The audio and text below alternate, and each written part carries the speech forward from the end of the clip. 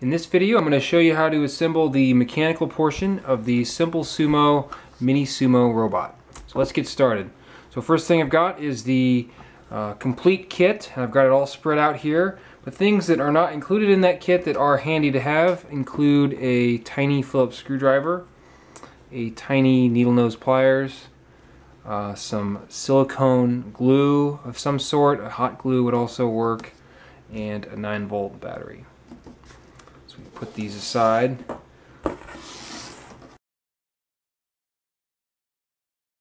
Okay, first thing we're going to do is grab the chassis part um, and a couple of push button switches. And four of the long, uh, of the longer of the two of the wires. Pull those off of there.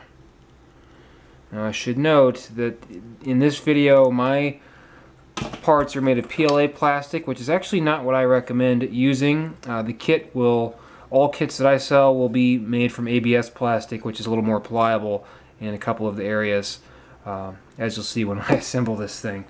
So we'll take one of these little buttons. Oops, its home is going to go in there but order of operations matters. So I found that um, it's easiest to just peel apart these little wires. Colors don't matter. Um, I guess it is easier if they're different colors from each other. And I'll just put them in the hole on the back side. See these four holes? Jam them in there all the way as far as they'll go. Let's start with two at a time. Just like that.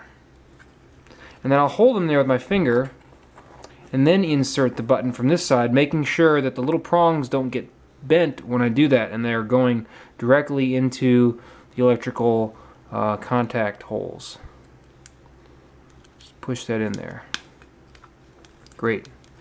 And then I'll immediately take these two wires, make sure the lighting's good here, and push them through to that little fork can help to use a uh, tiny screwdriver to help jam it in. There. And what that does, we put them in there immediately, it helps hold them in, helps keep them from, from wanting to pull back out on it if we were to yank on the wire. And then we do the same thing for the other side. Excellent. So let's do that one more time.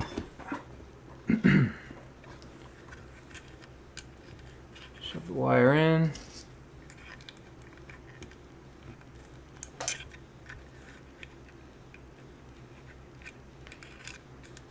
Finger there to hold it and then insert the, the button. Very good.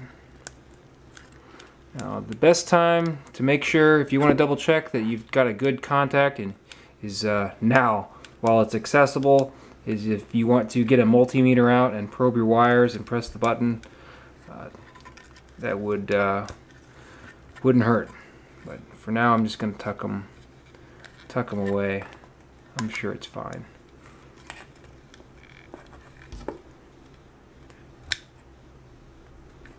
There you go. It's just a little bit of a pinch in there to keep it when the wires to stay in. Perfect. Pinch. Great. Okay, next thing I'm going to do is set this aside for the moment and pull out our three edge sensors. Now they come, they arrive like this with their little wires oriented backwards, but we want to reorient them. So I'm going to take a couple of our wires, oops, better use four, and push them onto the prongs to help support them as I bend them the way that I want them to, to face.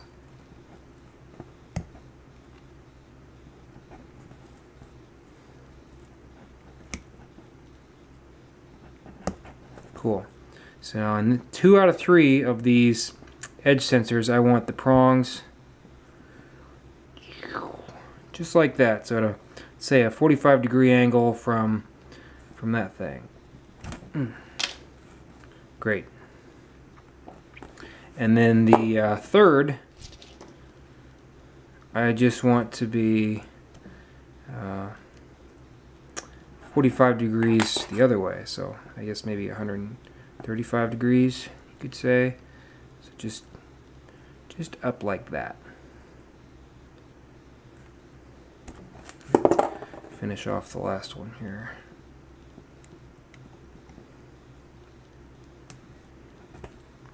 We want to make sure none of the prongs are touching each other so the signal doesn't get messed up.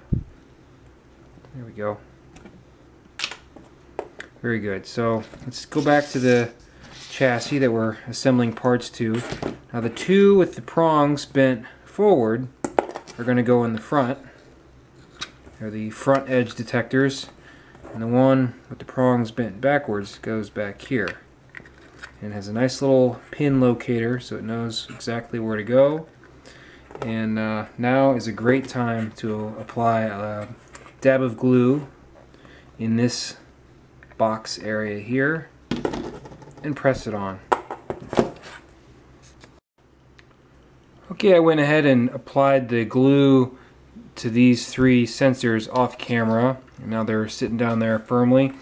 Next thing is to take the um, HR SO4 ultrasonic sensor and just press it in there. And you can press in, but I've got a little dab of glue on it just uh, for good measure.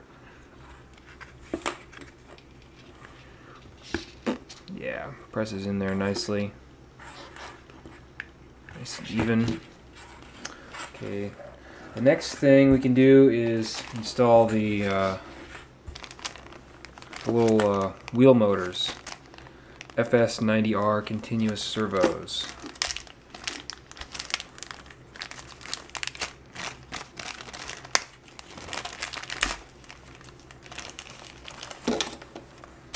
In the package you get the, uh, the servo motor and you get this little thing with three screws in it and these little extra fittings. We're going to make use of the screws in a way not intended and we don't need any of the, uh, the little plastic fittings. So we'll set that aside. Pull up our little tiny screwdriver okay there's only one way looks like my little thing popped out and needed to live it give it more time to dry um, here we go there's only one way it can be put in, no wrong way. Just jam it in there. Now what we're going to do is these, of the three screws, two are long and one is short. And they manu the manufacturer intends for these two to hold the servo in place and this thing to hold this little servo horn. But we're going to use them, uh, we're going to use these two to hold the servo down and this one to hold the wheel because it's more substantial for that purpose and this will get us by. Let's see. Just fine. This will get us by and won't move anywhere anyway. So take our it helps a lot if this is magnetized and you put the longer of the two screws in this position because it's easier to access.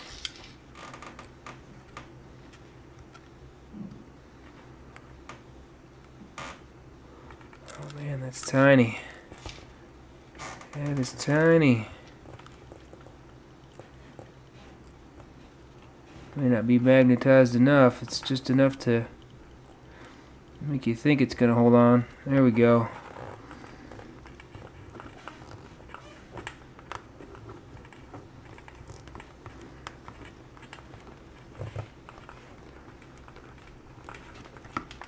Great. Now the little one,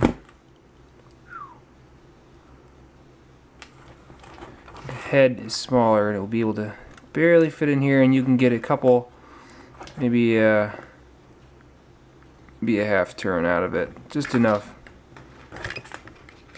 There we go. A little more than that, a couple turns. Till the head seats down. There. there's not going to be a lot of force that's pushing this in anyway once the wheel is installed.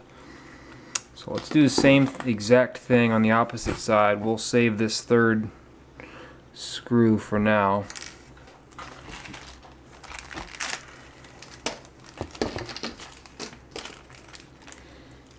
Rip open the packages. Ah, use my teeth.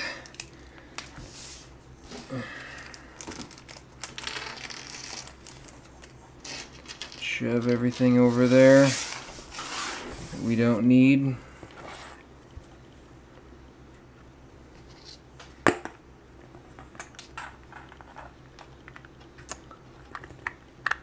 Install the servo. Oh. Um, yeah, that's good.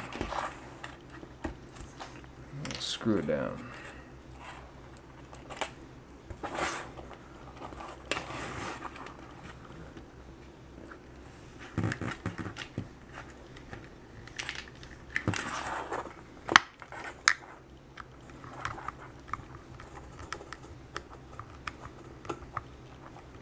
Nice and snug.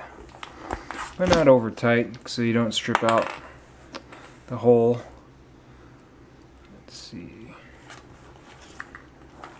One more.